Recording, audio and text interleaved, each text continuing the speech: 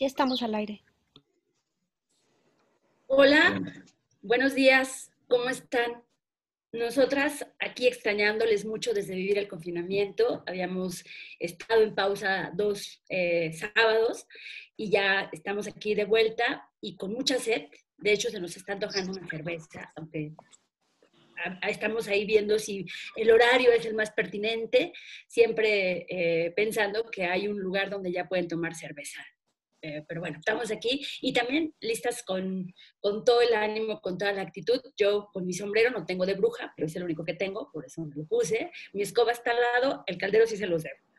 Hoy eh, vamos a hablar de las cervezas y las brujas, por eso es lo que estoy comentando. Y para ello hemos invitado a Paco, a Diana, Armando y a Lucía.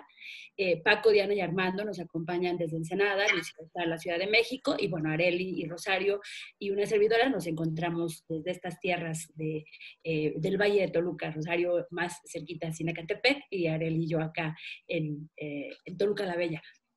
Eh, y bueno, pues no sé si recuerdan eh, quienes nos han acompañado y quienes empiezan a conectar, que hace algún ratito, no sé, como, como dos meses quizá, no lo recuerdo porque el tiempo está pasando muy rápido, tuvimos a Armando como invitado de una mesa, de, de una de las sesiones de Vivir el Confinamiento, para hablar sobre eh, el vino. Y ahí, eh, mientras platicábamos ese día antes de salir eh, al aire y después de que nos despedimos, tocamos el tema de, de las cervezas y pues salió una historia maravillosa de la relación que hay de las brujas con las cervezas. Y entonces pensamos que sería pues muy lindo tenerlo nuevamente como invitado y además sumar a, otros invitados para que podamos conocer un poco más de esta maravillosa historia. Y bueno, pues dejo ahora en el uso de la palabra a Rosario para que haga eh, los, los comentarios y ellos se van a presentar, porque regularmente Rosario los presenta, aunque en esta ocasión ella sugirió, y nos parece muy bien, que sean ellos quienes se presenten y después de que cada uno eh, nos diga quién es, pues eh, Rosario pueda hacer los primeros comentarios y empezar a hurgar sobre este tema que es las brujas y las cervezas. Bienvenidos y bienvenidas. Bueno, pues no sé si em, quieren empezar, porfa Paco, ¿sí? Hola, yo soy Paco Talamante, eh, soy cervecero eh, Canería Cerveza, para ser exactos. Ah, hago la Ensenada Beer Fest también y pues presido la asociación de aquí de cervecerías artesanales de Ensenada. Sigues, Diana. Eh, estamos invitados cuando se nos ofrezca, ¿verdad? ¿Sí? Cuando gusten, ya saben, a la orden. Para ir, ok, digo, cuando se pueda. Muchas gracias, este, Francisco. No sé quién quiera seguir de presentarse. Diana. Hola, yo soy Diana Arcos, también soy cervecera y yo trabajo en la cervecería Wenland en Ensenada. Bien. Sufriendo mucho en Ensenada. Invitados cuando gusten. Claro, sí, lo estamos anotando, ¿eh? Lo que pasa es que en el fondo estamos organizando todo esto con gente de Ensenada porque queremos ir pronto a Ensenada en cuanto se pueda. Sí, Lucía. Hola, mi nombre es Lucía Carrillo, también soy cervecera, yo soy de la Ciudad de México y la cervecería en la que trabajo, que es mi cervecería, se llama Cervecería 100 Octanos y tenemos dos marcas, lo que es cervecería, eh, marca Itañaña, marca Patacán. Y en mis tiempos libres me dedico a ser juez de cerveza. ¡Wow! ¡Qué bien! Ya nos contarás más. Armando. bueno, Armando Orozco, algunos ya me conocían. Eh, yo vivo acá en Ensenada. Yo soy asesor en procesos de fermentación tanto cerveza como vino y algunas otras cosas más. Y soy actualmente coordinador del laboratorio eh, de análisis del Centro de, Centro de Estudios Vitivinícolas de Baja California y, coordinador de la planta piloto ¿no? del instituto. Entonces, pues ahí ando. Soy básicamente borracho con título. Qué bien. Bueno, pues como verán, eh, tenemos, estamos hoy en serio como muy contentos gracias a la presencia de nuestras dos brujas de hoy, que son Lucía, que ustedes tienen que saber que Lucía se, se, llama Lucifer en WhatsApp, lo que me encantó, ¿no? Porque pues una buena bruja se tiene que tener un nombre que, que haga honor. Entonces, eh, Lucía y Diana hoy son nuestras brujas y en este caso tenemos a tanto a Armando como a Paco que nos acompañan, digamos, haciendo también este, este vínculo. Y sí, bueno, ya Armando es, ya casi le vamos a dar el título como de el coordinador de la sección de vivir el confinamiento en Ensenada.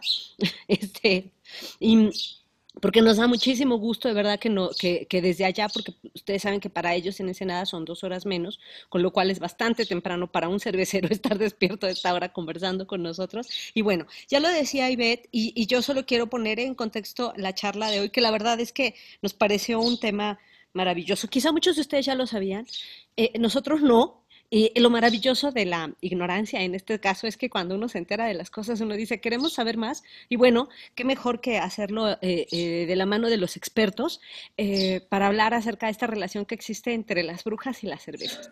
Nosotros no lo sabíamos, así que nos quedamos súper impresionados y a lo mejor muchos de los que nos siguen tampoco lo sabían. Resulta que por ahí de la Edad Media, eran las mujeres las que se dedicaban, además de hacer todos los alimentos en casa, entre ellos, entre muchos otros alimentos, pues preparaban esto que después eh, empezamos a conocer como cerveza que eran estos fermentos eh, vinculados con la cebada y con el lúpulo y todas estas cosas, y pues los preparaban en estos grandes calderos. Sí, hoy nos estamos enterando, lo que tiene el caldero de la bruja es cerveza. lo cual nos puede parecer mal. Uno siempre se, nunca se preguntaron qué tenía el caldero de la bruja, la que tanto le dan vuelta. Bueno, pues el caldero de la bruja no tiene nada más que cerveza. Entonces resulta que en la Edad Media eran justamente las mujeres las que se dedicaban a hacer, entre otros alimentos, la cerveza. Y como había, no había como mucha agua potable y este tipo de casos, lo que la gente bebía era cerveza. Y pues la cerveza no daba exactamente para hacerse supermillonario, como hoy quizás sí ya nos lo dirá Paco, ¿no? Este, pero lo que, lo que daba era por lo menos para mantener a la familia y así, entonces las mujeres se quedaban viudas o no sé qué, para como complementar el gasto de la familia, pues se dedicaban a vender la cerveza.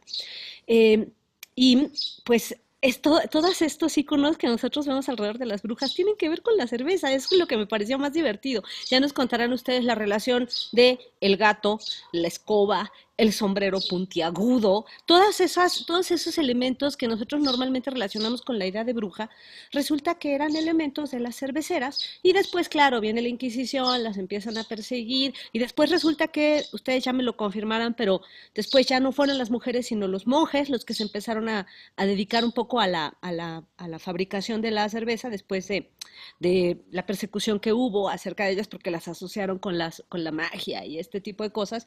Y el día de hoy estamos convencidos que tiene que ver con magia, ¿no? Eso es cierto, porque hay algo que sucede que hay unas cervezas que nos gustan más que las otras. Decía Areli, y quizá por ahí podemos empezar con los comentarios, eh, eh, si ustedes nos pueden compartir qué cerveza les gusta más. Hay quienes saben de cerveza, yo, yo confieso que pues yo no sé, y cuando decía Areli que lo dijera mucho, yo decía pues yo no sé cuál me gusta, solo sé que unas sí me gustan más que otras. A mí no me gusta esa cerveza como muy pesada, me gusta como más la cerveza ligera, creo que debe ser clara, pero no lo sé. Eh, algunas, pero, pero sobre todo me gusta más en algunos momentos, me gusta más cuando hace calor, por ejemplo, cosa que nunca sucede en Toluca, ¿no? Bueno, hoy sí está haciendo sol, pero es como una cosa rarísima.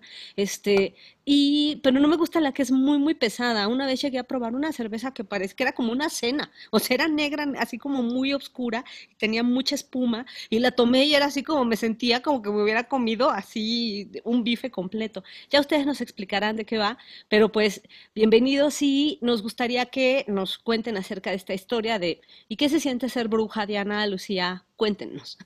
Oye, pero antes ya el público nos está diciendo que la que no se ha presentado, no ha saludado es Areli. Claro. La palabra, y así que, Areli. Hola a todos, bienvenidos y muchas gracias por seguirnos.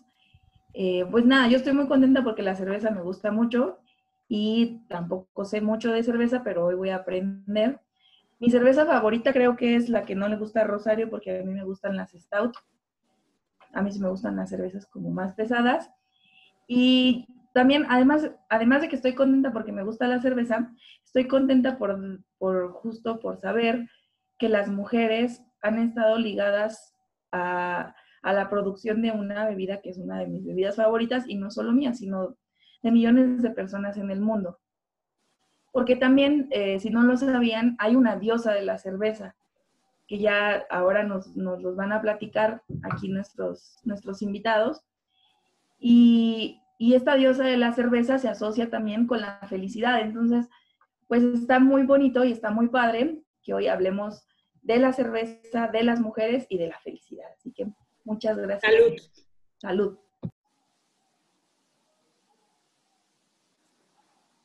Ah, perdón, pero eh, nos iba a empezar a contar Lucía qué era lo que sentía de ser una, una bruja, una bruja cervecera. Muchas gracias. Eh, eh, bueno, antes que nada he olvidado decir que tengo otra cervecería, que de hecho se llama Cervecería Bruga, con doble G.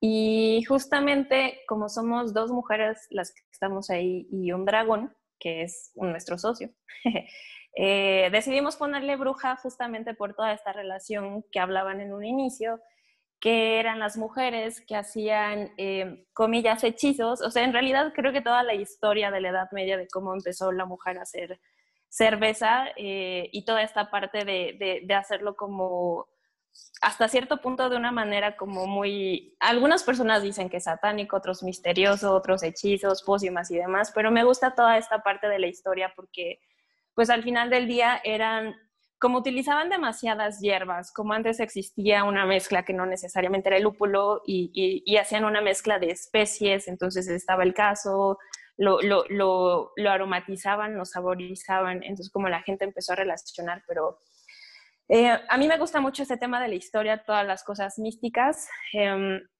me encanta esa época, la Edad Media es como mi edad, hubiera sido feliz viviendo en esa temporada, seguro hubiera sido bruja cervecera, sin duda alguna. Eh, y lo que más me gusta es como todos estos pequeños conceptos de por qué la escoba, por qué el sombrero y, toda esta parte, que creo que lo que se me hace más interesante es, siguen siendo estas mujeres empoderadas que estaban solas por algún motivo y que tenían pues que sacar sus gastos y al final del día como las mujeres se dedicaban a este tema de la cocina, de la casa y demás, pues tenían que hacer esta parte de pues me sobra mi comida, me sobra mi cerveza, entonces tengo que ver la manera de, de, venderlo o de hacer algo con eso para yo tener ingresos. Entonces el hecho de que ellas empezaran a poner su escoba como estandarte de aquí se vende cerveza, o en algunos casos ponían eh, como guirnaldas de lúpulos, en ese entonces ya, ya estaba como también el, el lúpulo. Y, y, creo que lo que, más, lo que más me encanta es cómo se iban a las plazas y como en, esa época, si recordamos, ah, estaba de moda los sombreros de pico, que podría ser de un pico de dos picos. estaba muy padre como la manera de visualizar el tema de cómo me voy a distinguir entre todos los demás comerciantes. Pues bueno, voy a utilizar un sombrero de pico negro para que cuando me vean caminando por la plaza digan, ah, ella vende cerveza. Entonces era, era como su estrategia y esa parte se me hace, toda esa parte de la historia de la Edad Media se me hace increíble. Qué padrísimo, Lucía, muchas gracias. Y tú tienes, bueno, cuéntanos tú, Diana, si tienes un, sombrero o un distintivo que te, te distinga en la época contemporánea como maestra cervecera.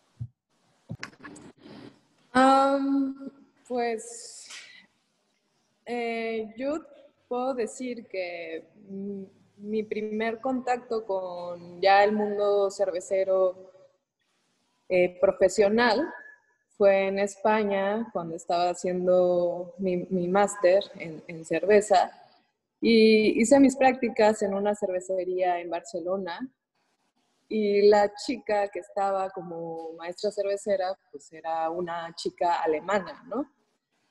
Y aparte ella era cineasta y entonces súper rara combinación, ¿no? Porque le apasionaban estas dos cosas, el cine y la cerveza. Eh, y, y, recuerdo que mi admiración, más bien, mi admiración por ella es muy grande porque, o sea, sí, sí me sorprendió mucho verla y, y como verla actuando y manejando súper bien todo el equipo y todo.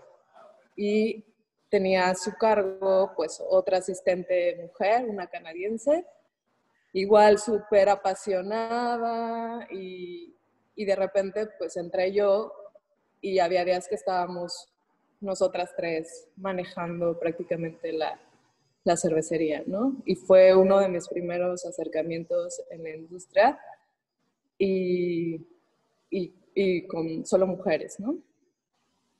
Y, Muchas gracias. Y además de que la historia de la cerveza ha estado ligada, como ya vimos, sin lugar a dudas, a las mujeres, pues eso no implica que los hombres no hayan participado en la cerveza. De hecho, al menos en el país, eh, se asocia mucho a la cerveza con una cuestión como de la construcción del macho, ¿no? Inclusive, si no mal recuerdo, la cervecería Tecate sacó hace algunos años una serie de comerciales en los que decían que si eras un macho, que si le pegabas a tu esposa, que si decías groserías, o sea, que si eras un macho macho, ni tomaras esa cerveza porque esa cerveza no era para ti. Eh, sin lugar a dudas, todos, mujeres y hombres, degustamos de la cerveza y mujeres y hombres las, hacemos. Y en este sentido, me gustaría que Paco nos comentara un poco sobre qué ha implicado durante el confinamiento producir cerveza, vender cerveza y eh, degustar cerveza. Perdón, me tardé un poquito en, en, cómo se llama en levantar mi micrófono. Este, mira, Creo que este año hemos aprendido mucho. Eh, ha sido buen año en el sentido de aprendizajes, de, evolución en la manera en cómo vendemos eh, la cerveza, cómo la promocionamos. Eh, yo creo que degustar cerveza, pues eso no ha parado, ¿verdad? Eso todo el mundo de alguna manera u otra hemos tenido acceso a, cervezas en este confinamiento. Hablando como, como cervecería, nosotros tuvimos prácticamente cinco meses cerrados, solamente vendiendo para llevar que, trajo también consigo su, sus complicaciones curiosas, ¿verdad? Este, nunca nos imaginábamos tener fila de gente para comprar cerveza, le pasó a Wendland, de hecho, hubo hasta pleitos en las filas, o sea, cosas cosas súper curiosas, ¿no? O sea, entonces, creo que, insisto, hemos aprendido mucho. Eh, sé que nadie ha dejado de tomar cerveza, todos los cerveceros, todas las cervecerías tratando de sobrevivir esta, esta cuarentena, pandemia, ya no sé cómo se llama, la verdad este, nueva normalidad. Confinamiento prolongado, confinamiento eterno. sí, sí, quédense todos, los que no les gustaba su casa ahora van a aprender a amarla. Este, entonces, eh, creo que todos buscamos nuevas maneras de acercarnos a, la, a nuestros consumidores y, y, hacerles llegar la cerveza, ¿no? Entonces, eh, no hemos parado. Eh, en Baja California, gracias a Dios, no nos, ¿cómo se llama? no nos dijeron que teníamos que parar de producir. Sí paramos de producir y bajamos incluso eh, personal y, varias cosas que no nos gustaría haber hecho para sobrevivir, ¿verdad? Por lo mismo de que las ventas se fueron de un, ¿qué te gusta? Pues yo creo que sí le pegamos como al 10% de lo que normalmente vendemos mensualmente, ¿no? Entonces se pueden imaginar la, la, bajada tan, tan fuerte para, para la industria, pero, este, pero pues bueno, eh, es, es, lo que tenemos que, con lo que tenemos que vivir, nos tenemos que adaptar, tenemos que seguirle. Eh, y punto y aparte, me gustaría platicar un poquito también de lo que estaban diciendo las mujeres cerveceras. A mí siempre me, me, me ha llamado mucho ese, la atención esa onda, ¿no? De, y me voy antes de Brujas, ¿no? Me voy a, a Egipto, donde las, las que eran las encargadas de hacer cerveza eran las mujeres, no los hombres, ¿no? Entonces, este, hay, yo le veo más un, un trasfondo económico y de poder lo que pasó en las épocas medievales que, que, el hecho de que quién hacía la cerveza, ¿no? Si el hombre o la mujer. La verdad de las cosas es que eh, conozco a muy buenas cerveceras, eh, siempre tienen cosas locochonas. yo siempre he dicho también que la mujer tiene un paladar más desarrollado que el hombre. Hablando de cerveza, simple y sencillamente, nosotros como hombres estamos acostumbrados a tomar nada más pues, lagers, ¿no? Pilsners, tranquilas, que todos saben iguales y, las mujeres no, las mujeres a lo mejor si no toman cerveza, pues toman vinos, toman coctelería, toman cosas más complejas y, este, y eso hace que su paladar sea más desarrollado, ¿no? Eh, nosotros cuando empezamos, bueno, yo cuando empecé a vender cerveza me di cuenta que le podía vender más fácil cerveza de las que yo hacía a una mujer que a un hombre. Un hombre así como, eh, este es acá como atole, ¿no? No, pues un stout, así, debe de saber oscuro, café. En cambio, llegaba una mujer, la probaba y era así, ah, qué rico, me acuerdo a mi café mañanero, Entonces, creo que, creo que a lo mejor muchas, este, mucha parte de la industria ha olvidado lo importante que es la, la mujer eh, tanto como productor como consumidor, y que originalmente, porque yo creo que, bueno, nos podemos ir a la época de Babilonia, ¿no? Para la cuestión de la, de la, creación de las primeras cervezas, pero yo creo que la más fuerte sí fue definitivamente la, la, cultura egipcia, e insisto, ahí las mujeres eran las que hacían la cerveza. Volviendo al contexto medieval, eh, siento que fue más político y económico porque pues ya se vendía, ¿verdad? Ya la, cuestión de los sombreros puntiagudos, como, como lo mencionaba Lucía, pues sí era para ellas hacerse ver como cerveceras, para que la gente supiera que eran cerveceras. La cuestión de la escoba afuera del, del lugar, ¿no? De la casa, que era para que supieras que, que había cerveza fresca. Eh, y pues sí, eh, yo creo que data de la ley de pureza cuando empiezan a, a, a, limitar a la mujer, ¿no? ¿Por qué? Porque la mujer, como lo comentaba bien Lucía, eh, usaba los gruts, ¿no? Que eran diferentes raíces y otras cosas para, para frutas y otras cosas para darle sabores, aromas, amargores a, a la cerveza. Y este, y cuando sale la ley de pureza, pues agua, lúpulo, levadura, y bye, ¿no? El grano, adiós, bye. Entonces ya no puedes usar ahí lo otro. También tienes la parte de los monjes, que ellos siempre habían hecho cerveza, ¿no? Y la iglesia está muy fuerte en la época medieval con todo este rollo de, de, ¿cómo se llama? Ah, se me fue la palabra. De las persecuciones de los herejes. Y este, y ellos quieren controlar también es un ingreso fuerte, ¿no? O sea, la gran mayoría de las, de las personas, como lo mencionaban, toman cerveza en Europa para evitar pues, infectarse con cualquier cosa que el agua pudiera traer de un río, ¿no? Cochino. Y, este, y pues es cuestión de monedas, ¿verdad? Si me preguntan a mí, el, hecho de, de, decirles brujas y perseguirlas y todo eso es, más que nada por, por cuestión de, ellos decir, es que yo quiero el poder de, de, de, producir este líquido que todo el mundo consume y que todo el mundo paga por él. Bueno, hasta aquí lo voy a parar porque yo lo hice como monólogo.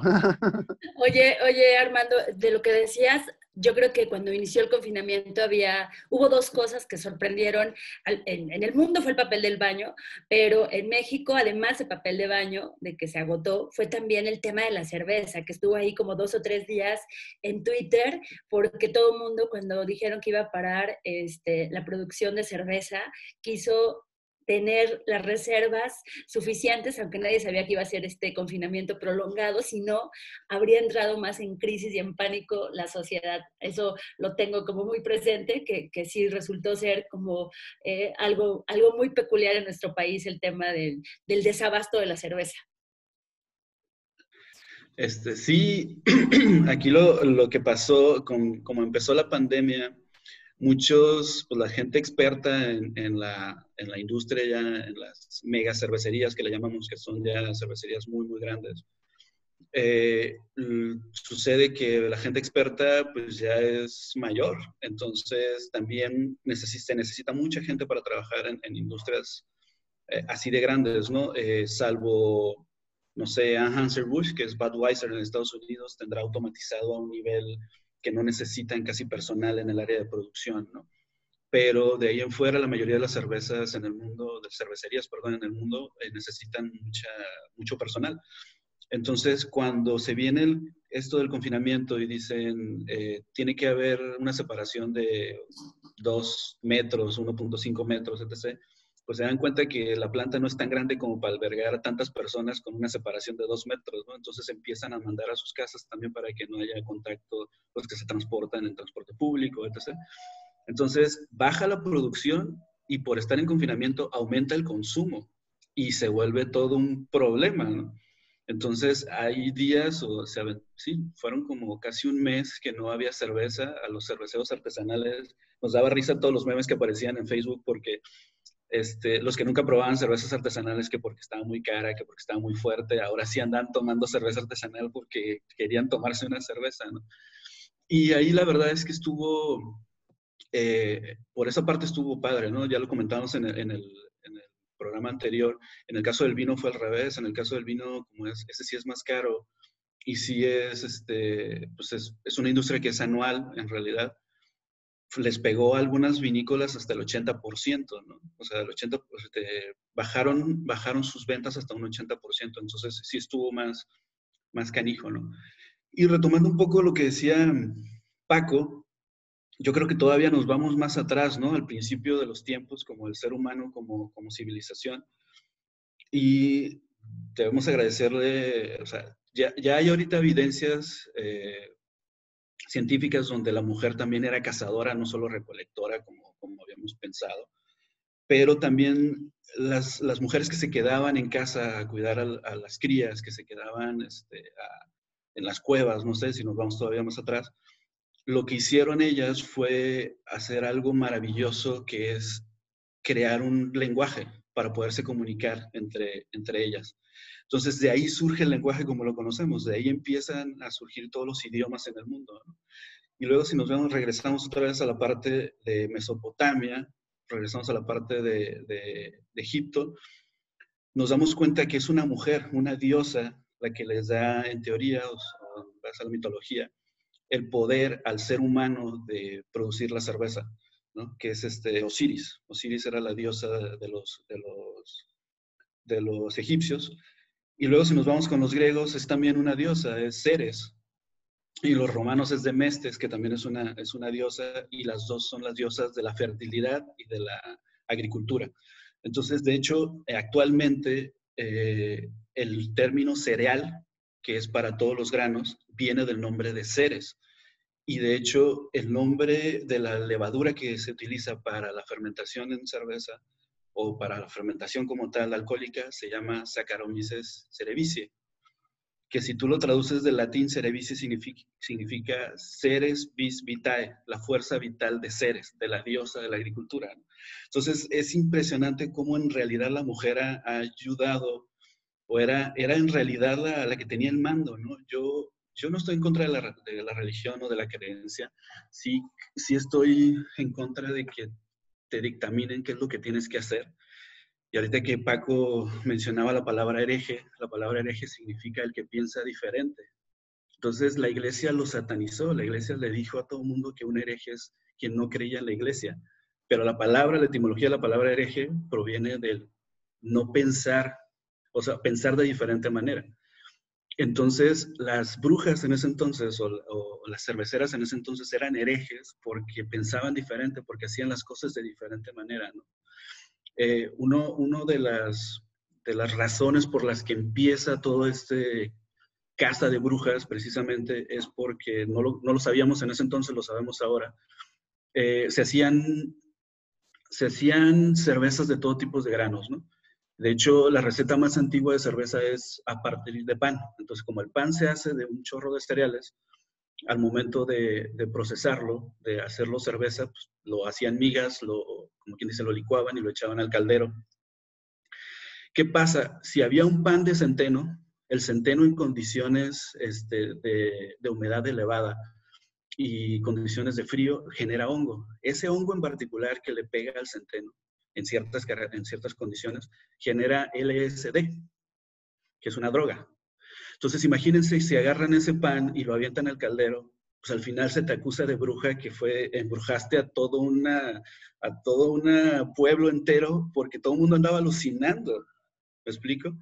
Entonces es interesante cómo, cómo la iglesia este, empieza a, a, cazar a las brujas porque estaban haciendo hechizos, cuando en realidad pues, no teníamos la ciencia suficiente para demostrar que lo que estaban haciendo pues, era simplemente por un error, por un error por no haber, este, eh, ¿cómo se llama?, revisado el control de calidad, a final de cuentas, de los alimentos ¿no? que, estaban, que estaban haciendo. Entonces, hay, hay muchísimas historias como estas a través del tiempo en el cual a las mujeres eh, se le ha limitado.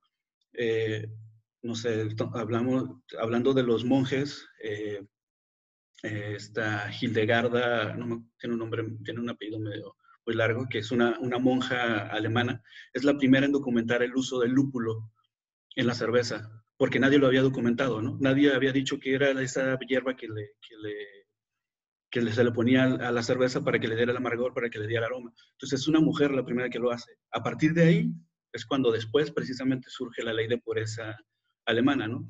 Pero la ley de pureza alemana también impide a las mujeres hacer cerveza. Entonces, digo, no estoy en contra de mi propio género, pero realmente mi propio género unido con la iglesia no fue buena, la mejor combinación del mundo como para las mujeres, la verdad, ¿no?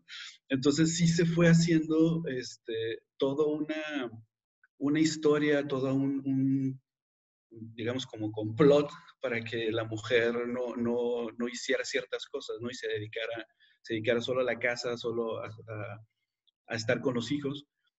Y la verdad es que digo, hay un chorro de ejemplos otra vez en la ciencia donde las mujeres nos han apoyado, donde la parte de las de, fermentaciones, eh, ahorita estamos hablando de fermentación alcohólica, pero fermentaciones de los quesos fueron mujeres, la fermentación de la conservación de alimentos, jamones y eso, que al final de cuentas también es una fermentación en sólido, fueron mujeres, este, bueno, vaya, ¿qué les puedo decir? Yo creo que el tema, yo creo que el pecado en la Edad Media particularmente, porque han eh, ustedes ahí hecho algunos comentarios de, de, la antigüedad donde no se estigmatizaba de esa manera a la mujer, por el contrario, había quizá un reconocimiento o al menos un respeto. En el, en el caso de la Edad Media fue una época muy, muy complicada para muchos y particularmente para las mujeres que además se atrevían a estar solas, se atrevían a romper con este control machista de esta sociedad y, y, y, la otra, que eh, lo han, lo han comentado de una u otra manera, es que se atrevían a experimentar con esos conocimientos que tenían de la herbolaria eh, y de la cocina, se atrevían a experimentar y por supuesto que a veces les salía muy bien la combinación y a veces no les salía tan bien. Y obviamente cuando no les salía tan bien, pues eran, eran, era el momento oportuno para culparlas de todos los males de la sociedad. Y entonces eran, a partir de eso, pues entonces eran eh, difamadas y en muchas ocasiones fueron enviadas a la hoguera por ser consideradas efectivamente brujas. Y el, punto central era que eh, pues, en, realidad eh, rompían con el control machista, ¿no? Sí. Yo, yo, creo que, yo creo que hay una cosa importante también que mencionar, ¿no? La cerveza siempre ha sido como un líquido místico, ¿sí? O sea, tenemos que, que como dice, eh, este, ¿cómo se llama Armando? No entendíamos científicamente qué pasaba, ¿verdad? Pero sabíamos que cada vez que tomábamos este líquido de la señora del sombrero puntiagudo que ponía la escoba fuera de su casa, ¿sí? Algo adentro de nosotros cambiaba. Nos podíamos poner por lo general más felices. Yo espero que todos ustedes sean muy felices cuando toman alcohol, pero también hay gente que se pone muy violenta ¿sí? O que cambia drásticamente su manera de ser. Entonces también podemos ver esa parte como, como el mal, ¿no? Que hasta si, si nos vamos a tiempos modernos y lo vemos, hasta ahorita todavía hay un, hay un estigma muy fuerte sobre el alcohol, ¿no? Habiendo mil y un problemas más fuertes que el alcohol, siempre que hay un problema doméstico o algo así por el estilo, es eh, el alcohol está involucrado en esto, ¿no? Entonces, yo creo que también eh, la misticidad de, de la cerveza como tal tiene mucho que ver eh, hacia el, perseguimiento de, las mujeres haciendo cerveza en, la época medieval. No sé qué opines, Dianita, estás muy serio. Sí, justo, eh, justo esa era lo que, ay, perdón, lo que yo quería preguntarle tanto a Diana como a Lucía.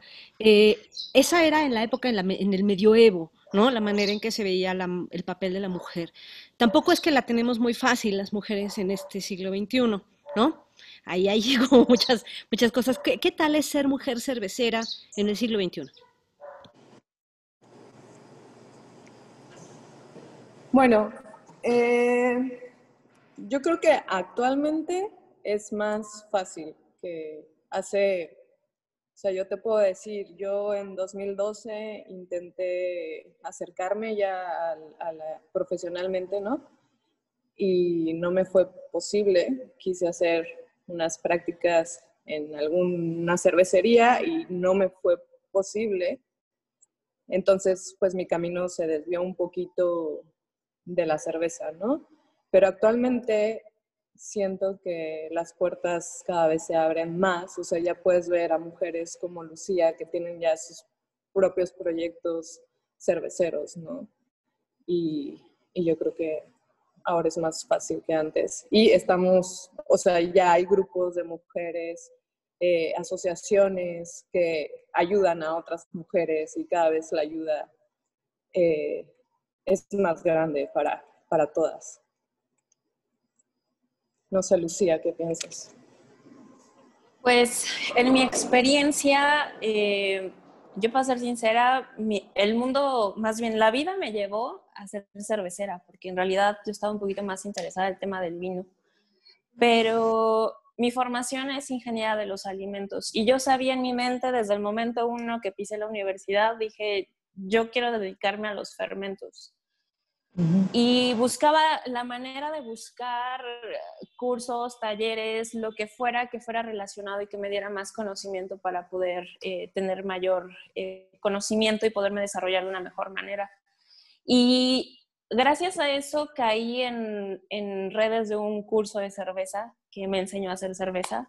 Y curiosamente había una competencia amateur y nos dijeron, ¿por qué no se meten? Y así de, pues, pues no, o sea, es mi primera cerveza, ¿no? Afortunadamente me fue muy bien en eso y recuerdo que hubo un momento, había un cervecero muy famoso que, que era tan misógino y me molestaba tanto porque la primera vez que me presentaron con él, su primer comentario no fue hola, mucho gusto, sino fue de, ah, la acción pregana y se dio la media vuelta y se fue y así de, ¿what?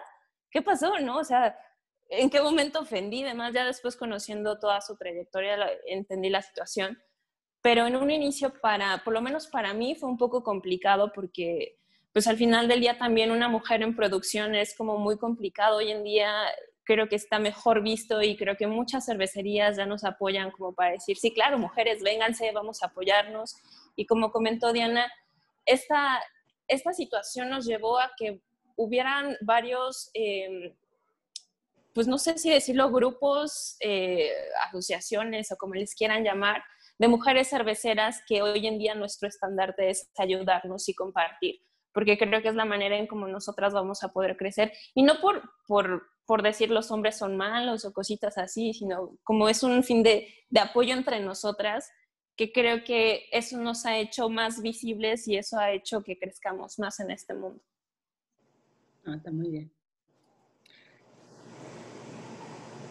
Me permiten recuperar aquí Paola Salgado, dice, una receta de mi abuela es poner una cerveza a serenar toda la noche bajo la luna y tomar un vaso de la misma en ayunas para quitar la bilis. Así que si alguien tiene ahí un problema de bilis, ya sabe, ahí eh, Paola nos dejó esta, esta receta de su abuela.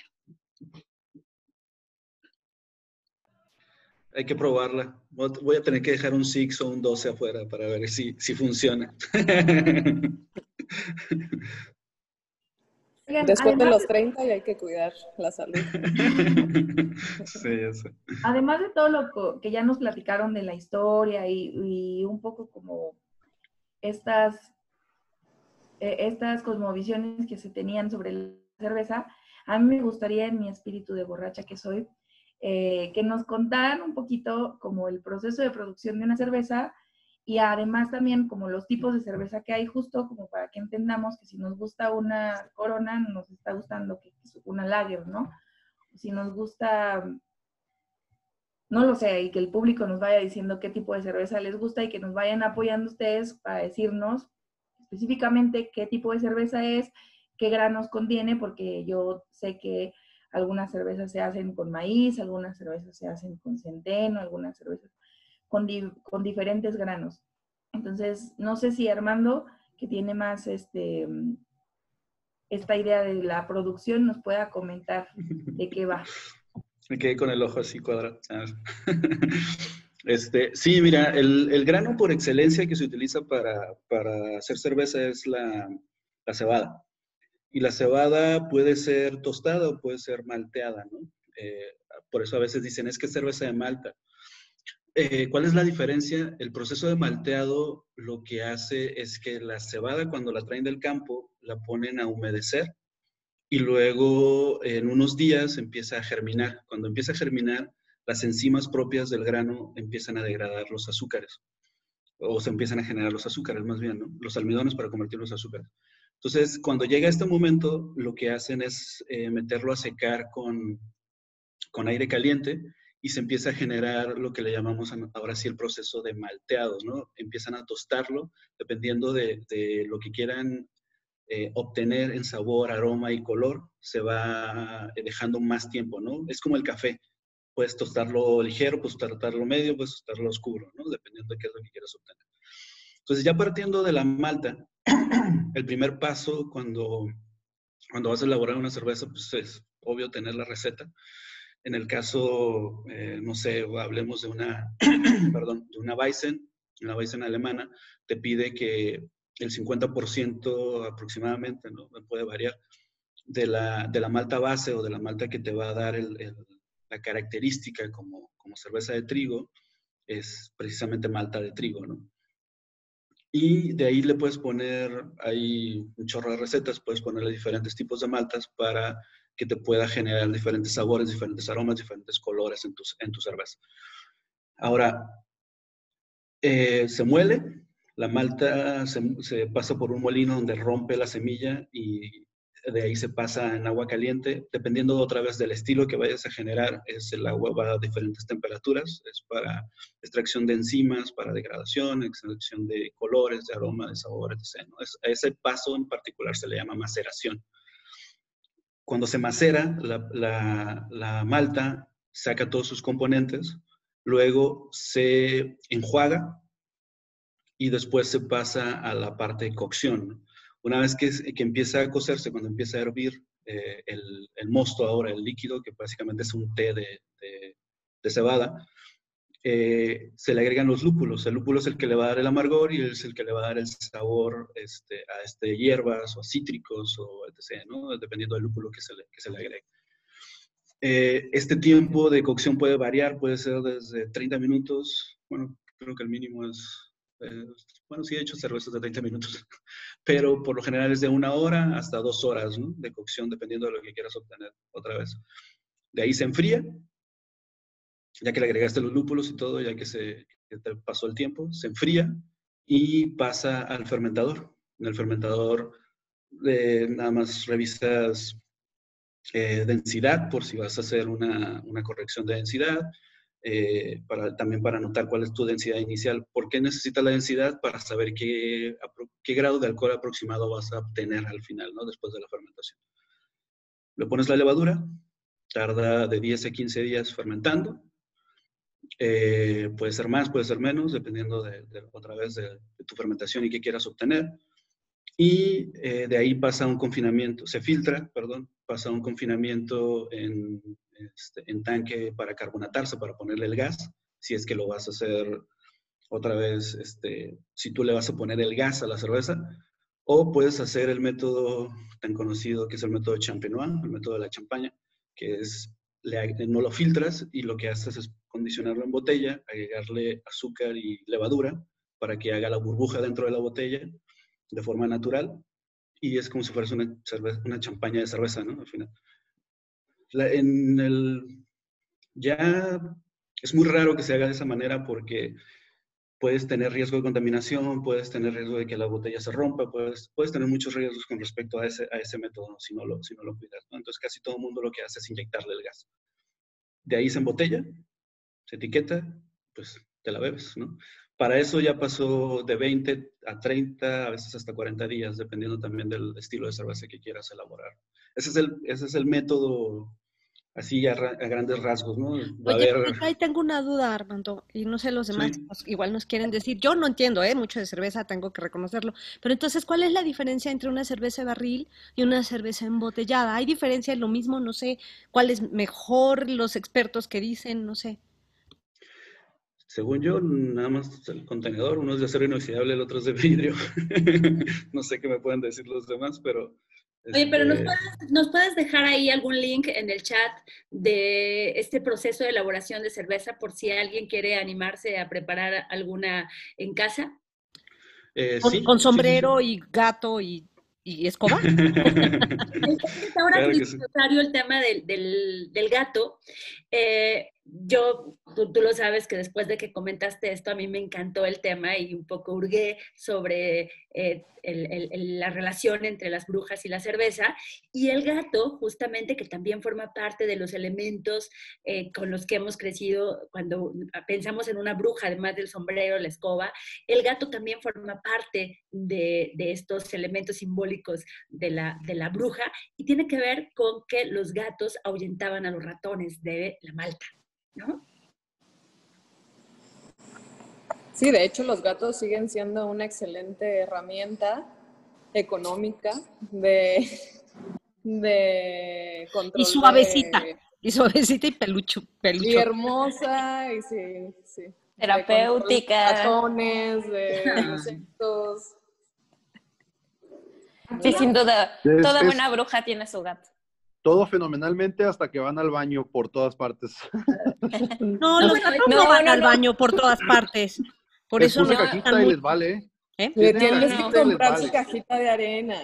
Es que los tienes que, tienes que, ah, no, ahí sí estás, estás increpando a los gatos de manera como yo los amo y van solitos a su, a su cajita, son muy limpios.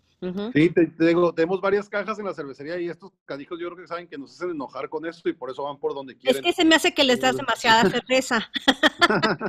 Y luego no encuentran la caja.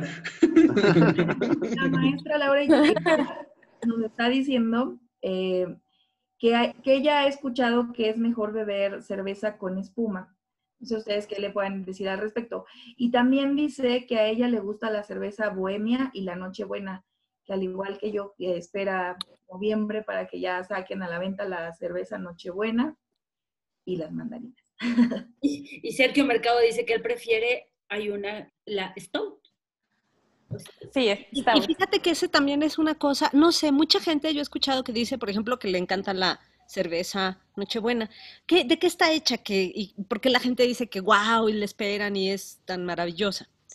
¿De qué está hecha? ¿Esa qué tipo de cerveza es?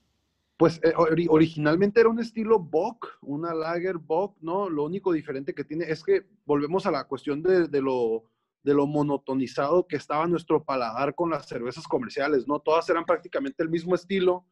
Y, este, y si, tú, yo, si yo te hago una cata ciegas de todas las cervezas comerciales claras, vamos a llamarles así, te puedo apostar que aunque tú digas que tomas Coors Light o Tecate Light o no sé, Tecate, lo que sea, no vas a saber cuál es quién y un 99% de las, de las veces pasa eso.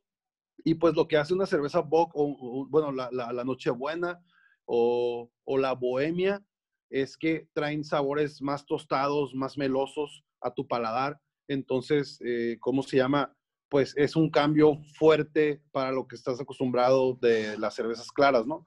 Ahora, económicamente hablando, eh, vamos a dejar a Bohemia un poquito de lado eh, vamos a hablar de Nochebuena, se hacía nada más una vez al año, porque sabían que esas tandas de Nochebuena las iban a vender bien rápido, pero si esa, si esa cerveza la hacen anual, para ellos no significa el retorno de inversión rápido, porque son cervezas que se venden más lentamente que las cervezas claras por la cuestión del drinkability, pisteabilidad o como le quieran llamar, ¿verdad?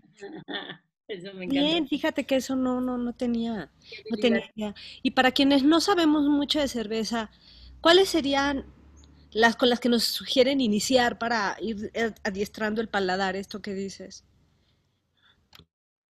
Le quité el, perdón, el micrófono. Yo creo que tiene más que ver con qué es lo que te gusta a ti. Siempre que hay una persona nueva que se acerca a nosotros y quiere probar cervezas, la primera pregunta que le hago es, ¿qué te gusta? Y no me refiero necesariamente nada más a tomar, ¿no? Muchas veces tú me dices que pues a mí me gusta un buen ribeye, término medio. Ah, ok, va, entonces yo ya sé para dónde va tu paladar. O sea, es que me gusta un chorro el pastel de chocolate. O me gusta, no sé, cualquier cosa que sea comer o tomar, pero que no sea cerveza, nos ayuda a nosotros como cerveceros a ayudarte a identificar cuál va a ser el estilo de cheve que más va a aceptar tu paladar, ¿no? Y es lo que estamos buscando nosotros, darte eso y que tú digas, ahora le va, eso sí me gustó, y ya por ahí empiezas, ¿no? Yo he descubierto también con el tiempo que hay, que hay como una curva. Este, todos empezamos con las lagers comerciales porque no hay cervecero que diga que no ha tomado nunca esa cerveza. Este, de ahí empezamos a hacer cheve o empezamos a consumir cervezas que van por ese lado, por el lado maltoso. De ahí empezamos a desarrollar cierto gusto por los caramelos, entonces empezamos a escalar hacia las porter, stouts, eh, empezamos con las astringencias y todos esos sabores, y luego de repente empezamos hacia el lado lupuloso, ¿no? Pale ales americanas, un poquito lupuladas, de ahí IPAs, double IPAs, empezamos a incrementar así todo el amargor y todo eso en, nuestro, en nuestra boca. Después de ahí nos movemos hacia el lado sour, que es este, la acidez que limpia ese, ese, ¿cómo se llama? Amargor. Y curiosamente terminamos en las lagers otra vez. Es como, como un círculo, ¿no? Este, es, es, es muy, muy curioso eso. Lo, tengo 13 años en el, en el medio y un poquito más de tiempo de eso, tomando cervezas de todos tipos. pero este, ¿cómo se llama? Pero creo que es, es una curvita muy fácil, con un círculo muy fácil que se puede seguir, ¿verdad? No, bueno, yo tengo que volver a ver el video para sacar nota de todo lo que dijiste, porque este, o quizá lo más sencillo sea irlos a visitar a, este a Ensenada y que nos, muestren, porque además, además en, en, Baja California, concretamente en esta zona, recientemente se ha desarrollado una cultura también de la cerveza, no solamente la del vino, sino particularmente de cerveza artesanal, que hay una infinidad de propuestas, ¿no? En, en, Baja California, particularmente en la región de Ensenada. Yo, yo creo que es el, norte en específico, pues ha sido cervecero históricamente, ¿no? Hablando de todo el norte del país. Eh, hay, hay lugares muy fuertes ya ahorita en, en, México. Cuando empezaron, pues a lo mejor sí era como, cuando empezamos, pues a lo mejor sí era como DF, Baja California, ¿no? Pero, pero ahorita ya tienes, por ejemplo, la región de Jalisco, este, está súper fuerte. Eh, Nuevo León también está súper fuerte, Nuevo León, Tamaulipas están súper fuertes. Entonces, este, incluso la península yucateca también tiene dos o tres muy buenas cervecerías. Entonces, yo creo que ya no es cuestión del norte o de Ensenado o de Baja California, yo creo que ya cada quien está empezando a desarrollar sus propios eh, estilos o lo que se vende más en sus zonas. Y, este, y eso está haciendo a un México, hablando de cerveza, muchísimo más diverso, ¿no? Entonces ya tenemos comida, tenemos vino, tenemos mezcales, tenemos tequilas y ahora tenemos cerveza, ¿no? Entonces está, está muy, muy, muy suave para, para la cuestión del, de la persona que va siguiendo todo el rollo gastronómico que tenemos en el país, ¿verdad? Oye, Paco, y hablando de estilos, perdón, perdón, Armando.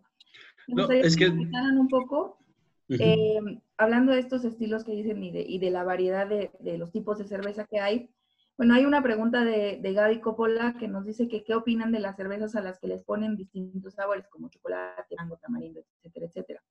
Y un poco también que nos dijeran, bueno, a mí cuando se me antoja una cerveza, se me antoja de diferente tipo de acuerdo a la ocasión en la que estoy. Es decir, si estoy como en la playa o así, pues sí se me antoja una lager como fría. Si estoy como ya más cenando y estoy como con un bistec de tres, eh, un bistec, pues ya me, me, pido un stout o o sea, las cervezas también tienen su maridaje, ¿no? O sea, y, en esos estilos quizá Lucía nos puede ayudar un poco, pues porque nos dijo que era juez de cervezas o, algo por, el estilo. Sí, justo quería responder. Em, y a mí, a mí se me hace que a veces también cuando comenzamos a hacer cerveza, de repente somos como muy puritanos y decimos, no, no, ¿cómo le vas a poner algo más? Y no sé qué. Y dices, bueno, pero em, hay, hay, hay, diferentes maneras de atacar ese, ese, tema, pero a mí me gustaría hacerlo como, como juez primero y ya después como cervecera. Y, y como juez es bien interesante porque adicionarle un ingrediente extra implica un tema de complejidad sensorialmente hablando porque no es que tengas tu cerveza y le pongas el puré, o sea, no, no es un cóctel, sino que va más allá. Tienes que ver en qué parte de, la elaboración lo vas a poder adicionar y cómo lo vas a adicionar. Entonces, cuando tú como juez te entregan una cerveza que te dice que tiene em, sandía y limón, pues en tu mente está la sandía y limón fresco. Y tienes que ver si la cerveza está elaborada de la manera correcta, es decir, si te dicen que es una IPA, tiene que saberte a una IPA, y si dicen que tiene sandía y limón, pues debes de percibir la sandía y el limón. O sea, el balance que buscamos sensorialmente tiene que estar ahí perfectamente bien, bien balanceado y bien distintivo, porque en algunos casos nos pasa que adicionamos productos y queremos que sepa tanto que se pierda el estilo base, entonces ya no, ya no se siente como el cerve la cerveza base. Como cervecera, eh, a mí me gusta mucho porque es un tema muy complejo, porque tienes, tienes que ver en el proceso, dependiendo del ingrediente, número uno, tienes que hacer información del ingrediente, porque no, no vas a echarle manzana así al rojo vivo, no le vas a adicionar. y esta es la parte de bruja que más me gusta, ¿no? Eh, en mi, en mi caso, en, en mi cervecera. Em, tienes que investigar del ingrediente, tienes que ver cuáles son sus cualidades, cuáles son sus propiedades y de acuerdo a eso tienes que ver cómo se lo quieres adicionar a tu cerveza. Si se lo quieres adicionar para que le dé aroma, sabor, amargor, lo que tú quieras. Entonces se vuelve un tema de técnica un poco más complejo que hacer una cerveza convencional que no quiere decir que hacer una cerveza convencional no sea complicado, pero la realidad es que necesitas hacer un poquito más de investigación. Y en mi cervecería lo que a veces hacemos es, si queremos hacer una cerveza, por ejemplo, em, ahora que fue temporada de chiles en nogada, pues nosotros hicimos una deconstrucción de un chile en nogada en el sentido que teníamos que buscar qué aromas y sabores queríamos destacar de ese chile en nogada. Y teníamos que buscar el contraste, porque al final del día, hoy en día, también creo que la cervecería artesanal lo que hace es que busca este maridaje, no necesariamente eh, estar pisteando, sí, sí se puede, pero también lo que buscamos es que tengan una experiencia sensorial totalmente diferente y para eso se necesita el tema del maridaje. Y nosotros hicimos una cerveza sour que tenía jugo de granada y tuna roja porque si tú lo ves en contraste con un chile en nogada, necesitaba esa parte de acidez por la parte de la crema y, sabores que acompañaran por la parte de, del relleno del chile de nogada, que de repente la gente decía, o sea, ¿cómo? Pero cuando lo probaban el ensamble era tan bien porque era un, un, maridaje de acompañamiento y no de contraste que creo que, que balanceaba muy bien y es lo que nosotros buscamos a veces hacer en nuestras cervezas. Hacer cervezas que son para maridaje y que busquen complementar algo más Evidentemente, para los que ya son más cerveceros, pues sí se pueden tomar y sentar, una eh, sentar y tomar una cerveza así normal, sin necesidad de maridaje, pero justamente es un valor agregado que nosotros como cerveceros, cuando hacemos cervezas diferentes, buscamos con el cliente. Como decía Paco, cuando vas en Ensenada, hay una explosión de sabores en todos lados que los necesitas probar y son de los mejores viajes porque tienes un buen vino, tienes muy buena comida, entonces lo acompañas, es una mejor experiencia y eso está como súper, súper, súper interesante. Pues yo no veo mal que se utilicen ingredientes siempre y cuando los, los agreguen de una manera correcta.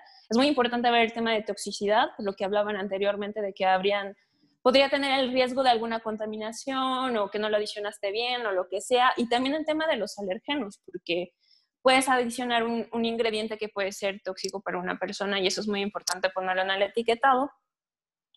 Y, y pues que se atrevan a probar ese tipo de cervezas. O sea, no, no necesariamente eh, nos puede gustar a todos porque todos tenemos paladares diferentes, pero sí es importante como que nos atrevamos. Y estoy totalmente de acuerdo con Paco con, con su círculo este, virtuoso, hasta diría yo. Em, y la verdad es que creo que, que, eso nos da chance a probar como todos los tipos de cerveza en todas las dimensiones que hay, con todos los sabores que hay. Y lo que yo siempre le digo a mis alumnos, tienen prohibido utilizar eh, saborizantes artificiales porque siento que nos están engañando y como esta parte de, mujer cervecera y la bruja y el hechizo, es siempre poner todo natural y aprovechar lo que hay de temporada. Entonces, atrévanse. Oye, te escuchaba Lucía y me acordé que hace algún tiempo eh, Rosario Areli y yo participamos de unas cenas ciegas, en donde, eh, pues obviamente más allá de la empatía que pudiéramos tener con las personas eh, que, que, son invidentes, el punto es que tuvimos que vivir esta experiencia sensorial y nos dimos cuenta de algo. Al menos de manera particular me di cuenta de mi incapacidad para poder identificar los eh, ingredientes que me estaba comiendo, porque de pronto, eh, o sea, comemos, pero no nos detenemos a esta experiencia sensorial, sobre todo en una tierra tan rica como la mexicana, que tenemos un montón de cosas que ponerle a la, a la comida, muchas hierbas aromáticas, que son así como la locura de un extranjero cuando viene a México, porque además hay de todo, y de pronto nosotros no, o sea, sí se las ponemos, pero no hemos hecho la práctica de disfrutar lo que estamos comiendo en el día a día. A partir de esa experiencia que, que, tuvimos, yo me he dado la tarea un poco de tratar mm, de ser más consciente de la riqueza que tenemos en el momento de combinar sabores. Y luego me he dado la oportunidad de participar en, una, en algunas catas de vino, en alguna cata de café, y cuando te dicen, a ver, ¿Qué identificas? ¿Qué sabores identificas? ¿De fruta? ¿De especias? ¿Qué sabores? Y, entonces voy haciendo como un ejercicio para, para ir identificando como estos eh, sabores y estos aromas que de pronto, insisto, nosotros que tenemos esa gran riqueza, no la hemos practicado. Entonces, yo eh, voy, a, voy a seguir como teniendo esta... Eh, este cuidado de identificar, porque es otra experiencia sensorial sin duda. Eh, y, eso, bueno, a mí me encantó ahorita que, hablabas de, eso, porque insisto, creo que en tierras como la nuestra tenemos una gran, gran riqueza que todos los días podemos tener esa gran experiencia sensorial, unos frijoles con epazote, pero este, unos nopales con orégano, cualquier platillo podemos eh, tener como esta, estos elementos que luego podemos utilizar con estos maridajes, eh, pues degustar lo que quieramos en ese momento, puede ser una cerveza, puede ser un, eh, vino, puede ser un mezcal, puede ser lo que, lo que nosotros decidamos acompañar, pero identificando esos, em, esos sabores y esos aromas que tiene pues nuestra comida y, nuestro, y nuestras bebidas. Totalmente, y creo que lo más importante es que te genera una felicidad diferente, en el sentido, eh, todo está en tu mente, o sea, todo ya está cargado, somos una muy buena computadora, lo que pasa es que somos flojos y no lo sabemos relacionar. Pero cuando yo empecé el tema de, ser, de entrenarme para ser juez, uno, uno de, los, de los jueces que yo conocí nos dio un curso y se me quedó muy grabado en la mente y me dijo, aprendan a ser como niños, en el sentido de que huelan todo, prueban todo, busquen texturas, porque esa es la única manera en la que se van a poder desarrollar de una manera totalmente diferente. Y, a veces solo comemos por saciar esa necesidad. Cuando evidentemente tiene que ver con cuestiones emocionales y demás, y ya si nos queremos poner más ahí psicológicos, hay un detrás de todo eso, ¿no?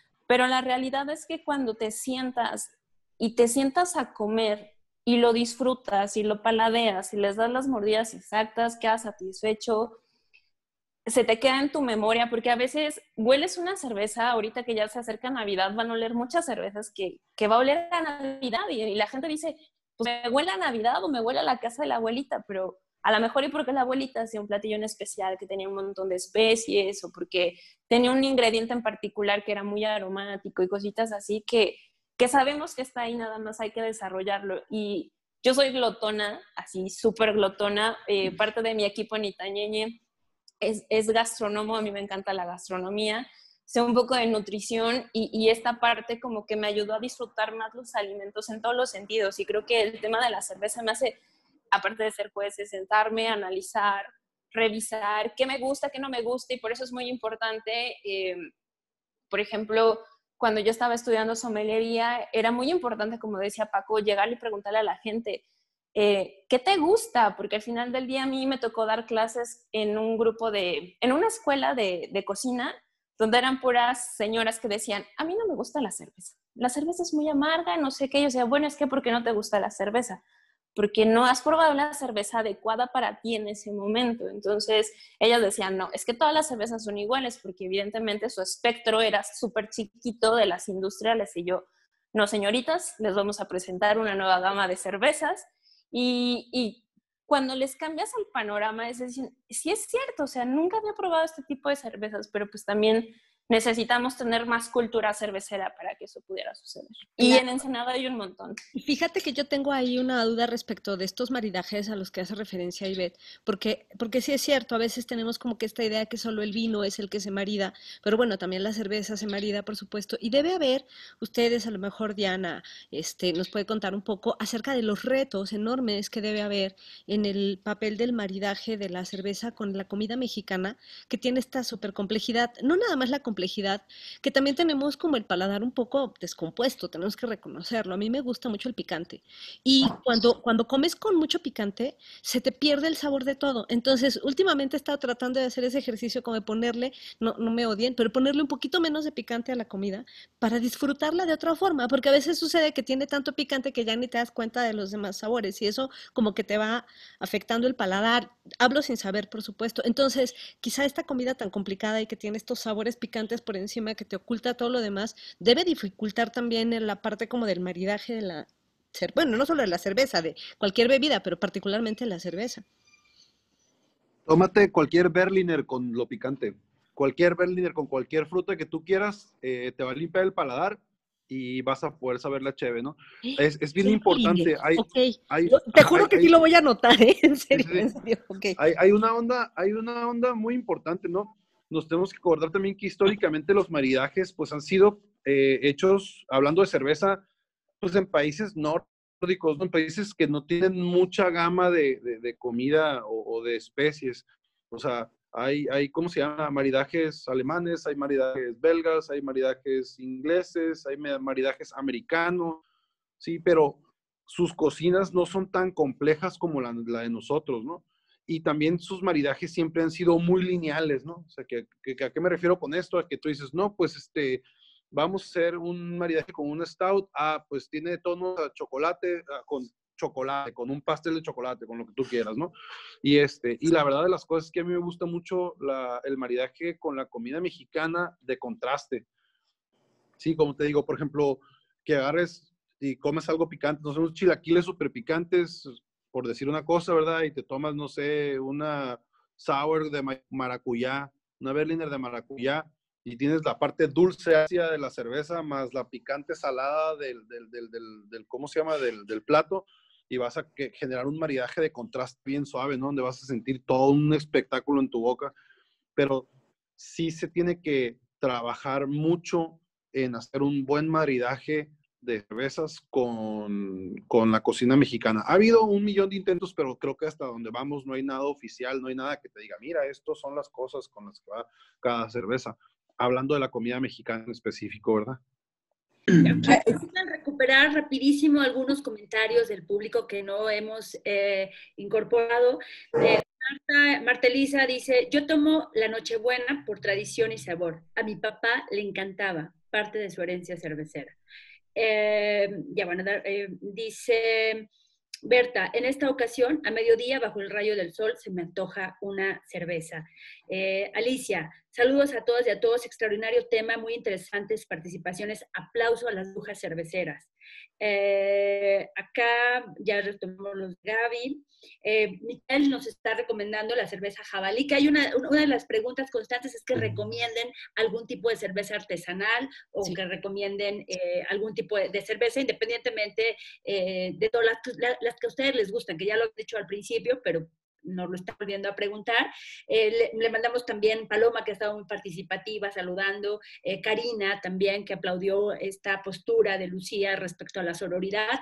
Eh, en fin, hay un montón de, de, comentarios que los invitamos a que después puedan entrar al chat para ahí, ya vi que, que, Armando entró y dejó ahí algunos links, eh, invitar ahí también a Lucía, a Diana y a Paco para que puedan en algún momento eh, pues retroalimentar con el público que nos está siguiendo.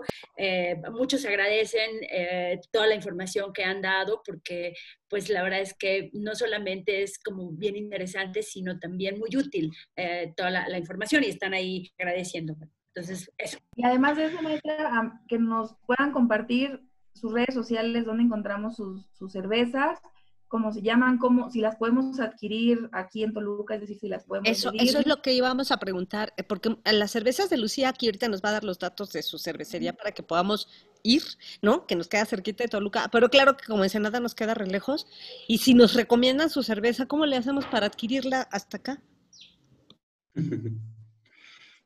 Sí, este, retomando, yo quisiera nada más decir, retomando un poco lo de, lo de Lucía, con respecto al maridaje, yo a mí también cuando daba clases, eh, había un, siempre, después de ocho años de dar clases en gastronomía a, muchachos con respecto a degustación de cerveza, eh, el problema que encontré, más que el hecho de que digas, es que yo no sé degustar cerveza, es yo no sé degustar nos enseñan a alimentarnos, no nos enseñan a comer, no nos enseñan a realmente, como decía Lucía, a sentarse, a ver qué ingredientes tiene nuestra comida, con qué lo vamos a maridar, qué es lo que, vamos, qué es lo que estamos probando. Porque, como mencionaba, todos los recuerdos lo tenemos. Cada quien recuerda como quiere, ¿no? Hay, hay un término en, en cuestión de degustación que se llama descomposición del recuerdo el cerebro lo que va a hacer primero es, es, traerte un recuerdo en específico de tu vida cuando estés probando algo.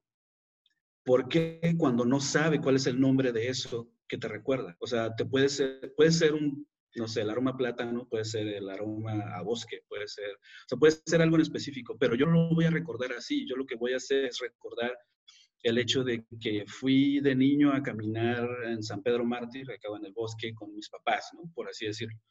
Entonces, el aroma que me está recordando esa cerveza en sí es, es el aroma a la resina, a la madera del bosque, a, esa sensación de estar, ¿no? de frescura a lo mejor. Entonces, el, el cerebro analiza toda esa información y la acumula en un recuerdo gigantesco. Entonces, el aroma te recuerda precisamente a ese punto en específico, ¿no? Entonces, una recomendación para las personas que, se quiera, que quieran empezar a trabajar con su memoria degustativa es hacerlo consciente. Cuando tú, ya lo platicamos en, el programa anterior, este, creo que fue en el programa o no me acuerdo, soy ya tras bambalinas en el programa, pero es que tenemos dos maneras de aprender, es por impacto y por, este, eh, ¿cómo se dice? Por placer. Entonces, la, la manera de que nuestro cerebro eh, aprende por impacto es cuando nos sucede algo como el dolor, como esta sensación de, mala, ¿no? Entonces, ahí automáticamente el cerebro lo que hace es bloquear, porque no quiere otra vez. O sea, aprendemos que el agua está caliente porque metimos la mano. Aprendemos que no nos tenemos que acercar al arbusto ese porque tiene espinas y nos picamos. Eso es bloqueo y el cerebro automáticamente dice, no te acerques. Pero cuando lo hacemos por placer, es cuando se genera toda esta sensación y volvemos a revivir la sensación en el recuerdo. ¿sí? por eso dicen recordar es vivir, porque en realidad para el cerebro no le importa, el cerebro no sabe de tiempo ni espacio. Entonces, básicamente es la Matrix, ¿no? No sabemos en qué momento vivimos de la humanidad y el cerebro está consciente de eso. Entonces, el, cerebro huele a chocolate, ¡pum! Recuerdo de estar sentado en, frente a la chimenea. O sea, no, no, no lo hace de otra manera, y también retomando un poco lo que decía Paco, hay que recordar que también en, hemos estado diciendo que en la Ensenada hay muchas cosas y, es maravilloso acá. También tiene que ver la posición geográfica en la que estamos. Tenemos a California, que fue uno de los principales productores o de los que iniciaron en, Estados Unidos con la producción de cerveza. Y no, ¿no? Es uno de los principales productores de vino en, en Estados Unidos. Entonces, pues la tradición de estar yendo y viniendo también se nos cuela un poco, ¿no? Yo recuerdo que iba a visitas a Monterrey, visitas a México, a Ciudad de México, y de repente pues ya sabía que era el movimiento cervecero y les pedía, pues dame una cerveza local, o, pues, o recomiéndenme una cerveza. No, pues recomiendo esta, y de repente me enseñaban Aguamala o Wetland. Yo, no, pues vengo de allá, enséñenme una cerveza de aquí, de Ciudad de México, una cerveza de Monterrey, a ver eso fue hace algunos años, ¿no? Ahorita, como dice Paco, ya hay cervecerías por todo México, es muy buenas cervecerías. La verdad es que recomendar una cerveza artesanal, pues yo te podría recomendar mi, mi favorita, pero sí los invito mejor a que consuman local, porque también el producir las cervezas en el lugar, en el caso de Lucía, que la produce en Ciudad de México, es que ella se preocupa por cómo es su su target de mercado a su alrededor y cómo es la comida alrededor y cómo es, o sea, su cerveza está diseñada para que lo combinen con lo que hay ahí, en ese lugar. Y eso está padre también. Vayan, si están en, no sé, Yucatán, pues una cervecería local, porque me imagino que los cerveceros están haciendo cervezas para combinar con los alimentos que hay ahí. Entonces es mejor de esa manera y se los recomiendo. Yo es mi, mi recomendación muchas gracias, Armando. Oye, pues el tiempo se nos está yendo rapidísimo. También agradecerle porque hemos mencionado un montón de mujeres que están conectadas, pero no hemos mencionado a los hombres que nos están acompañando y que les mandan saludos a los hijos y las hijas de la Malta. Eh, a Javier Narváez, a Inocencio, a Juan, a David, a Pablo, a Jorge. Eh, se, van a pasar varios, pero también agradecerles a, quienes eh, nos están acompañando esta, esta mañana no eh, hacemos a lo mejor una reflexión final. Eh, a mí me gustaría, por ejemplo, en el caso de Lucía, de manera muy rápida, pudiera decirnos si pronto hará una cata de cerveza para que quienes estemos relativamente cercanos a la Ciudad de México, pues nos acerquemos y podamos hacer esta experiencia esencial eh, con la cerveza. Pues realmente así como un acta en específico, ¿no? Lo que sí tenemos es, em, eh, síganos en las redes sociales, arroba cervecería Itanene, porque la ñ a veces no, la registra. Y realmente nos pueden mandar un mensaje y nos pueden decir, eh, voy a ir para allá y tenemos cerveza, tenemos un mini tap room, ahí pueden ir, pueden probar cerveza de barril de acero inoxidable, eh, respondiendo rapidísimo a la pregunta que estaba volando por ahí. Cuando le metes eh, barril de madera, sí hay un cambio sensorialmente bastante interesante. Pero nos pueden mandar un mensaje y nos pueden decir, voy a ir para allá. Nosotros estamos ubicados en el municipio Azcapotzalco, en Calzada de las Armas número 11. Cuando gusten, están totalmente bienvenidos a visitarla. Somos una nanocervecería muy chiquitita, pero con cervezas muy, muy, muy experimentales. ¿Puedes repetir tus redes sociales porque no te encontré? Es arroba cervecería eh, y es ITA I-T-A-E-E-N-E. O cervecería Patacán. Somos, somos las mismas. Está en Twitter, ¿verdad? La encontré en Twitter. ¿Tienes Facebook? También. Sí, justo. Eh, estamos así. Creo que nada más en, en, Instagram, creo que estoy como cervecería Ita, creo, pero si le ponen cervecería Ita, ya nos aparece por la cuestión de los números de espacios que había. Estás como cervecería Ita Nene. Ah, súper. Cervecería Ita Nene, entonces. Pues un comentario final, Armando, Paco, eh, Diana.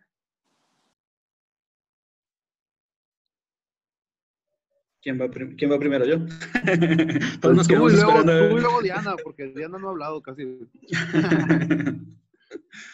Venga, eh, pues un comentario final es que, eh, vaya, agradecer a las mujeres del mundo, a las brujas que han hecho posible este, tener nosotros una cerveza en la mesa este, todos los días o por lo menos una vez por semana, dependiendo de qué borrachos somos. Pero este, es un agradecimiento, la verdad, y yo creo que digo, con todo lo que está pasando a nivel mundial, este, los hombres ya echamos a perder el mundo, ahora les toca a las mujeres. Entonces hay que dejarle a, ellas que agarren la batuta, no, hay, no hay ningún problema, ¿no? Y mm, para los, para los que nos están viendo es, eh, pues que se arriesguen, ¿no? Que prueben cervezas, eh, como decía Lucía, no, a veces no es que no exista, que la cerveza esté mala o, que no me guste, es que a lo mejor no hemos probado la suficiente, ¿no? Eh, tenemos que buscar la cerveza que, que, queramos. De hecho, decían al principio, a lo mejor nos presentamos probando o, diciendo qué cerveza nos gusta. A mí en particular me gustan las cervezas Lambic. Y las cervezas Lambic, la mayoría son de fruta. Entonces, es como un cervecero le gustan esas cervezas. Pues sí, o sea, son, son de mis favoritas en realidad. Son cervezas súper aromáticas, sobre todo porque son súper aromáticas. Y las cervezas belgas, ¿no? Entonces, tienes que probar. No hay de otra manera más que aprender, o sea, saber cuál cerveza te gusta es probar. Así que esa es la recomendación. Muchas gracias, Armando. Diana, dijimos, ya se fue, ya, nos, ya, ya, se fue Diana, pero no, ya volvió Diana. No, perdón, mi internet anda un poquito malo. Eh, pues eh, también les quería decir que existen en internet, si pueden buscar guías de, como, sí, guías de pairings, de maridaje de cerveza, por si alguien va empezando y quiere la craft eh, la, Brewers Association of the Craft Beer, hay bastantes guías de, de pairings. Eh, aquí, por, a mí me encanta, por ejemplo, pues un ceviche con una pale ale, ¿no? Me, me fascina.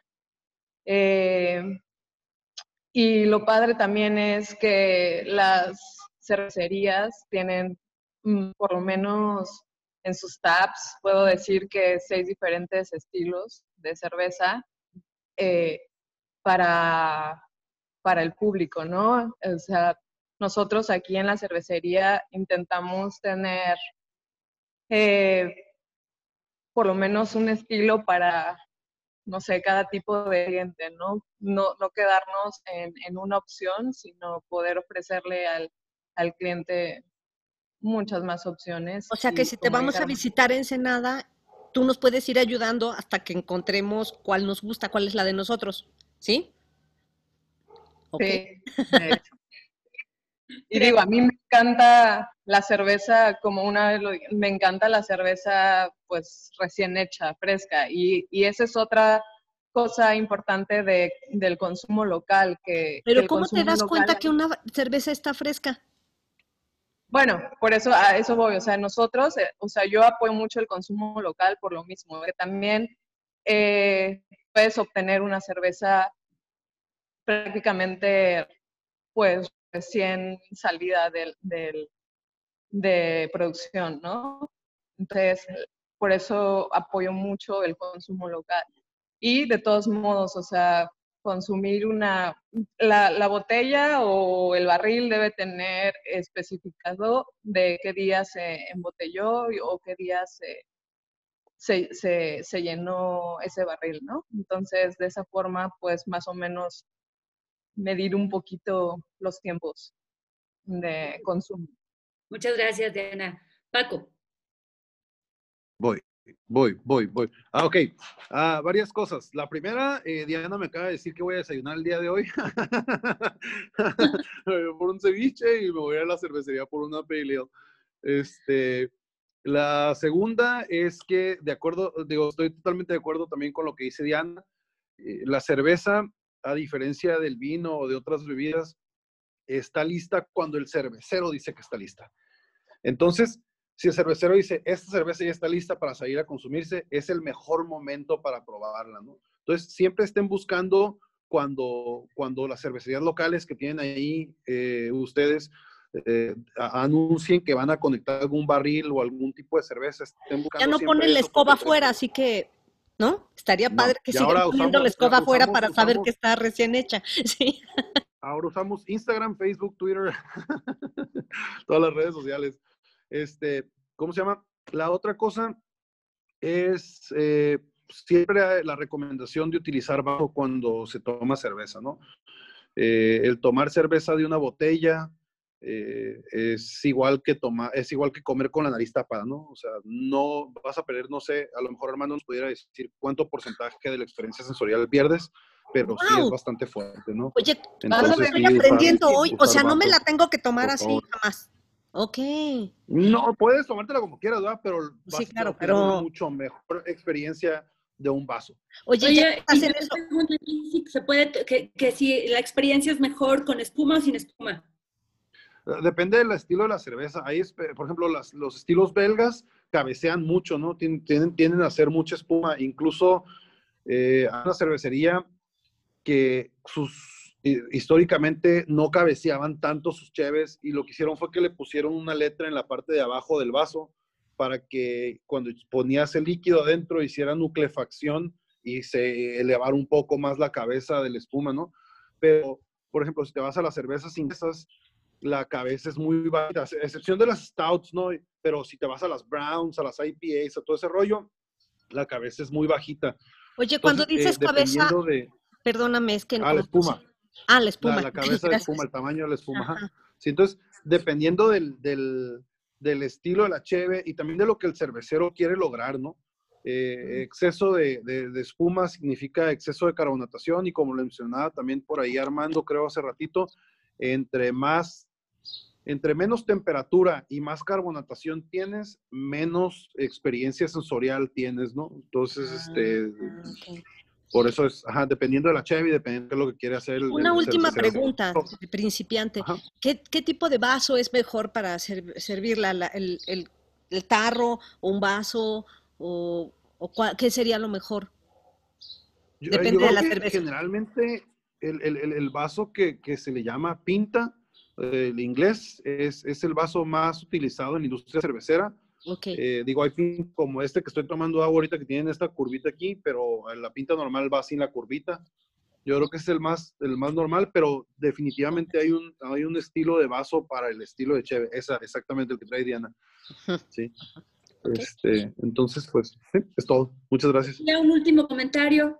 Mm, pues, nomás no tomen cerveza de la botella, por favor. Lo prometo. Lucía, ¿tú no, no haces un último comentario? Em, sí, igual que todos los demás, eh, apoyen eh, em, consumo local, restaurantes locales y entre todos hay que hacer comunidad. Ok. Oye, pues en verdad hay que agradecemos a, a, los cuatro. Bueno, Areli y Rosario, un último comentario también de todo lo que hoy se ha dicho. Yo nada más estoy muy decepcionada porque a mí me gustaba caguamear directo de la, de la ya no lo voy a hacer. y pues nada, agradecerles a todos que nos siguen cada ocho días, que nos dejan sus comentarios, que nos acompañan en estas pláticas que siempre resultan para nosotras muy enriquecedoras. Y muchas gracias a nuestros invitados, que hoy aprendimos mucho. Me desilusioné porque no puedo tomar ya mi caguamita, pero bueno, al- algo tenía que aprender. Haremos la excepción para la gente que caguamea directo. Es, la caguama es otro rollo. Sí, Sí, no, la caguama caguama es- es aparte. Rosario, No, no, solamente agradecer a Armando em, y a Paco, eh, bueno, Armando, a Paco y a Diana, que desde Ensenada, siendo mucho más temprano que acá, nos acompañen y hayan, nos hayan brindado la oportunidad de aprender tantísimo. A Lucía, que está acá en la Ciudad de México y cuya cervecería vamos a ir corriendo a conocer ahora que si, si es posible salir y ese tipo de cosas. Eh, y bueno, lo único que me queda claro de todo esto es que ahora que un día se pueda viajar y salir, habrá que ir a Baja California porque al parecer hay una gran cantidad de cosas que nos ofrecen. Y más allá de aprender tantísimo, todo lo que aprendí hoy, de verdad, que me la pasé sacando notas, este... eh, creo que me queda como el pendiente de algún día hacer un maridaje de cerveza, pero de mano de los expertos. Eso es lo que, lo que me queda como pendiente. Muchísimas gracias. Ok, pues yo nada más agradecerle a Paco y Armando que hayan estado aquí con nosotras en este seminario de Vivir el Confinamiento y de manera particular brindar por Lucía y por Diana y brindar también por todas estas eh, mujeres que pues fueron víctimas de la Inquisición por dedicarse a la elaboración de cerveza y que fueron cuestionadas y que fueron eh, difamadas y muchas de ellas fueron a dar a, a- la hoguera. Y también hay que brindar por las mujeres que seguimos luchando por tener la libertad de ser nosotras mismas. Muchísimas gracias a quienes desde casa nos acompañaron en esta sesión de Vivir el Confinamiento y nos vemos la próxima semana. Cerramos nuestra sesión en eh, Facebook. Gracias.